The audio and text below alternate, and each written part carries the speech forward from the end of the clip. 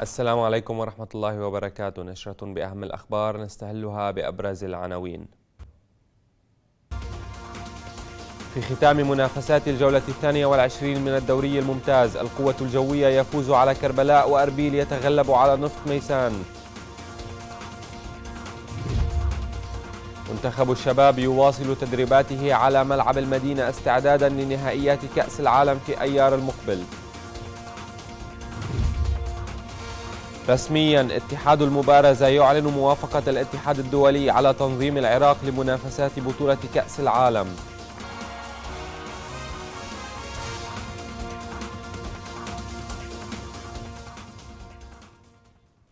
أهلا بكم. تغلب القوة الجوية على مضيفه كربلاء بهدفين مقابل هدف واحد على ملعب كربلاء الدولي ضمن الجولة الثانية والعشرين من الدوري الكروي الممتاز. وتقدم كربلاء أولا عن طريق سجاد رعد في الدقيقة الرابعة والثلاثين. وتمكن شريف عبد الكاظم من إدراك التعادل للقوة الجوية في الدقيقة السادسة والثلاثين. فيما خطف ويندي فريكي الهدف الثاني للضيوف في الدقيقة التاسعة والخمسين.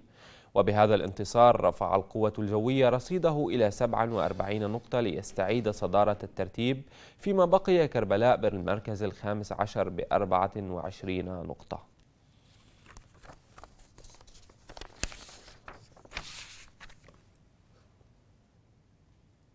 حقق أربيل انتصارا ثمينا على ضيفه نفط ميسان بثلاثة أهداف لهدف على ملعب فرانسو حريري في ختام مباريات الجولة الثانية والعشرين من الدوري الممتاز.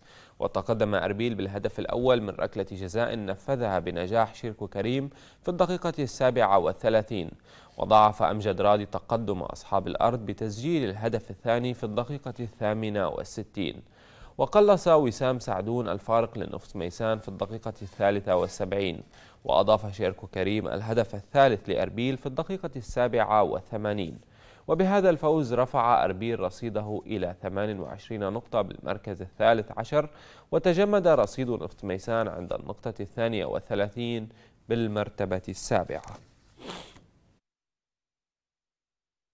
الحمد لله والشكر على الفوز.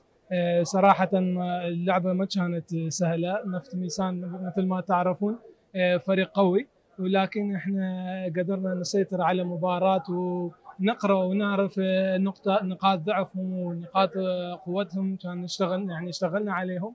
والحمد لله قدرنا نفوز ونغلب وصارت ثلاث لعبات متتالية إن شاء الله. القادم أفضل. خروج كابتن أحمد كان أثر علينا. بس من اجى هنقاوي يعني ما ما ما قصر والجماعة كلهم. وإن شاء الله آه، نشكر نشكر جماعتنا ونقادم أفضل إن شاء الله. اليوم آه، الفريق قدم أداء ممتاز مثل ما قلت آه، رغم التبديلات الاضطرارية لكن كان كل البدلاء اللي دخلوا كانوا ممتازين. وهذا يدل على فريق جيد إنه عندك لاعبين أساسيين والإحتياط نفس الشيء. وإن شاء الله نقدر إحنا طموحنا أكثر. إن شاء الله لازم ننسى هذه المباراة. آه، نادي أربيل طموحه أكثر من هاي المراكز. هناك تركيز عالي جدا آه، من قبل كادر التدريبي.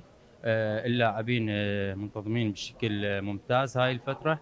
وأنا الروح راجع لهذا الفريق. الكل ينظر إليهم بشكل سواسي. من طبعا أكيد هذا الكل يرجع للكادر التدريبي. آه، إحنا كلاعبين لازم نشكر آه، انه اشخاص آه، اجوا لهذا النادي ومهتمين جدا بهاي الموضوع ومهتمين جدا بنادي أربيل. كل شيء تغير خلال هذه الفترة والحمد لله والشكر. كل شيء ده يمر بشكل جيد. أعلنت لجنة المسابقات في الاتحاد العراقي لكرة القدم عن توقف جديد للدوري الممتاز. وأكدت اللجنة أن الدوري الممتاز سيتوقف حتى الرابع والعشرين من نيسان الجاري وصدر هذا القرار من أجل إقامة مباريات ثمن نهائي كأس العراق والتي ستجرى يومي الثالث عشر والرابع عشر من الشهر ذاته.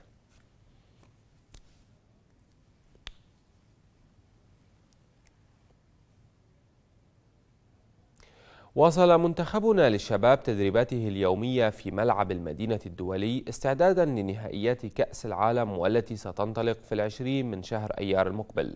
وحضر التدريبات لليوم الثاني على التوالي رئيس اتحاد كرة القدم عدنان درجال وأعضاء المكتب التنفيذي كما شهدت تواجد 22 لاعبا. بينما غاب عنها اللاعبون عبد الرزاق قاسم وعلي جاسم وقاذم رعد ومحمد جميل وحسين حسن والمتواجدون مع أنديتهم في الدوري الممتاز ودوري الدرجة الأولى.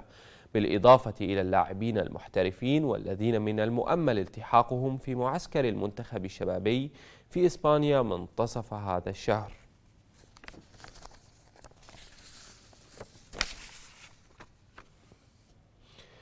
أعلن الاتحاد العراقي للمبارزة أن بغداد ستحتضن بطولة كأس العالم للمبارزة. وذكر الاتحاد في بيان أن الاتحاد الدولي للمبارزة وافق رسميا على تنظيم العراق لمنافسات بطولة كأس العالم بسلاح السيف العربي للرجال. وأوضح الاتحاد أن البطولة ستقام في بغداد نهاية شهر تشرين الأول المقبل. وكان اتحاد المبارزة العراقي قد وضع خطة مركزية لإعادة تأهيل وتطوير المراكز التدريبية التابعة والمعتمدة لدى الاتحاد.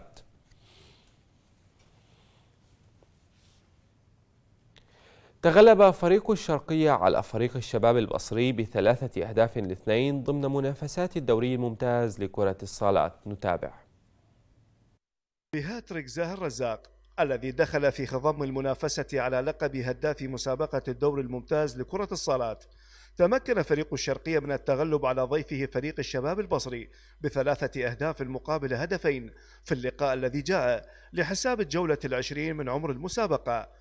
قاعة الشهيد ميثم حبيب المغلقة كانت على موعد لاستضافة المباراة بعد إعادة تأهيلها وترميمها.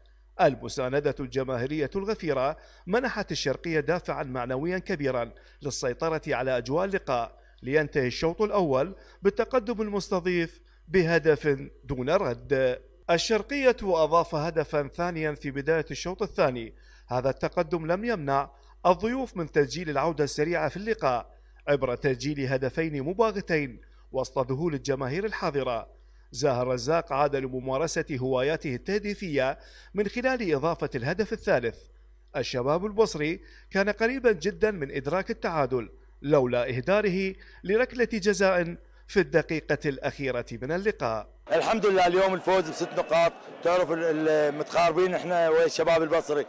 الحمد لله.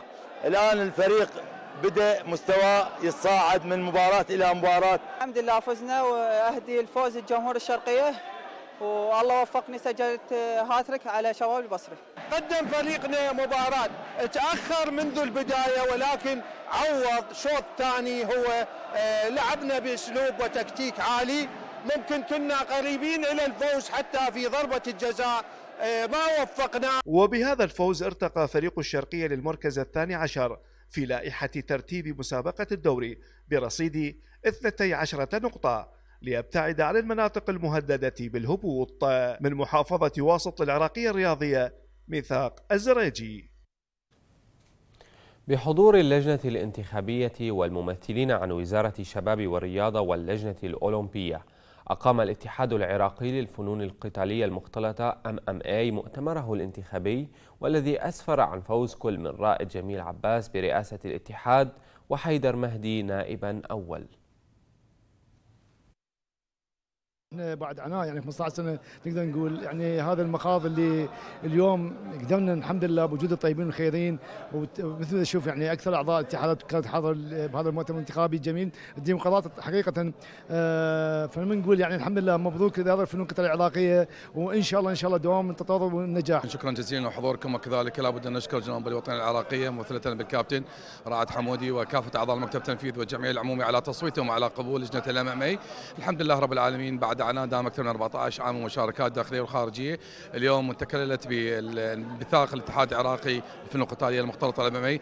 وبالتأكيد إن شاء الله سوف يكون رافد دائم ومهم للفنون القتالية. طموحنا أكبر إن شاء الله بتحقيق اوسمه كما عودناكم. وإن شاء الله الاتحاد تشكيلة شبابية وجميعهم الرياضيين وأصحاب الشهادات. وإن شاء الله نكون رقما صعبا بين الاتحادات الرياضية. اليوم أتمنى انتخابات الاتحاد العراقي للفنون القتالية المختلطة آه، بفوز رئيس الاتحاد الأستاذ رائد جميل عباس وستة أعضاء بالاتحاد طبعا آه، الاتحاد هذا بعد ولادة عسيرة طوال 14 عام آه، كنا نطمح لهذه الخطوة لكن الحمد لله هذه الخطوة اليوم صارت على أرض الواقع. إن شاء الله نطمح بالمستقبل. آه، يكون هذا الاتحاد هو رافد لكل الرياضيين.